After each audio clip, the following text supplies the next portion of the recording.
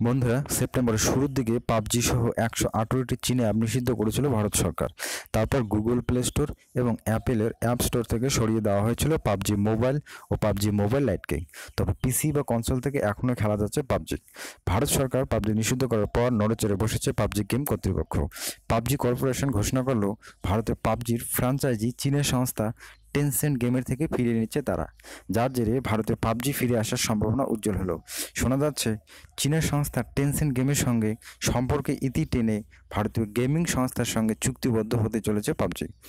PUBG গেমের developer সংস্থা হলো পাবজি কর্পোরেশন। এটি দক্ষিণ কোরিয়ার একটি সংস্থা। কিন্তু ভারতে পাবজি মোবাইল অ্যাপটি নিয়ন্ত্রণ করত চীনের সংস্থা টেনসেন্ট গেমস ভারতীয় সংস্থার সঙ্গে চুক্তি সম্পূর্ণ হলে ভারতে পাবজির ডিস্ট্রিবিউশনের দায়িত্ব দেওয়া হবে তাদের। আর পাবলিশিং শর্ত থাকবে পাবজি কর্তৃপক্ষের হাতেই। পাবজি নিষিদ্ধ হওয়ায় ব্যাপক আর্থিক ক্ষতির মুখে পড়েছিল পাবজি কর্তৃপক্ষ। একটি সমীক্ষায় দেখা গিয়েছে, শুধু দুই হাজার উনিশ সালেই ভারত থেকে একশো মিলিয়ন মার্কিন ডলার ভারতীয় মুদ্রায় প্রায় সাতশো ছত্রিশ কোটি টাকা রোজগার করেছিল পাবজি। আপাতত ভারতীয় সংস্থার সঙ্গে চুক্তি করে বাজার ফিরে পেতে মরিয়া এই দক্ষিণ কোরীয় সংস্থা। বন্ধুরা, আমাদের চ্যানেলে নতুন হয়ে থাকলে চ্যানেলটি সাবস্ক্রাইব করে বেল আইকন প্রেস করে দেবেন। ধন্যবাদ।